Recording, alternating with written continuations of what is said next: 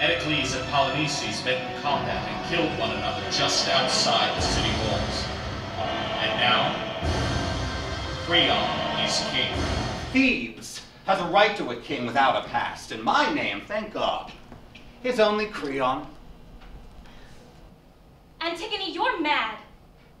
Am I? We cannot do it. Why not? Creon will have us put to death. I don't want to die. I prefer not to die myself. Antigone, listen to me! You come from a line of people which the human vestment is a kind of straitjacket. It cracks at the seams and you spend your lives wriggling to get out of it in nothing short than a cozy tea party with death and destiny will quench your thirst. Where's your pain? Nowhere.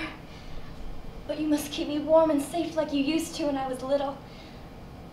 And you give me your hand, as if I were sick in bed and you were sitting beside me. My lamb, what is it that's eating your heart out? Nothing. It's just that I'm not quite strong enough for what I have to do. And now the spring is wound up tight. It'll uncoil of itself. That is what is so convenient in tragedy. The least little turn of the wrist will do the job. Anything will set it going. A glance at a girl happens to be lifting her arm through her hair as you go by.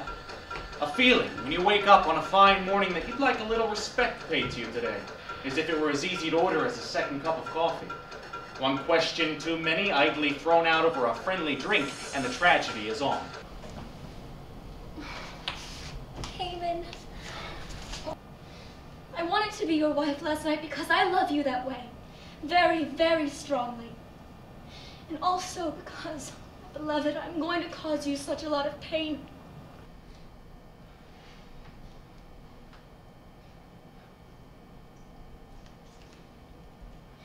Creon orders that our brother rot and putrefy and be mangled by dogs and birds. That means Uncle Creon is the king now. He has to set an example. Those who are not buried wander eternally and find no rest. Everybody knows that. If something has gone wrong with that body, I will break all three of you.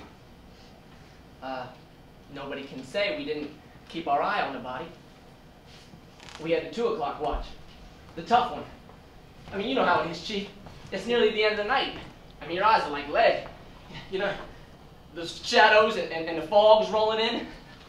You come from a line of people which the human vestment is a kind of straitjacket. It cracks at the seams and you spend your lives wriggling to get out of it in nothing short than a cozy tea party with death and destiny will quench your thirst. No, Creon. There is God, and there are his priests, and they are not the same thing. You are not free to do with man as you wish, not even when they are dead. The queen, where is the queen? What do you want with the queen? What have you to tell the queen? News to break on heart.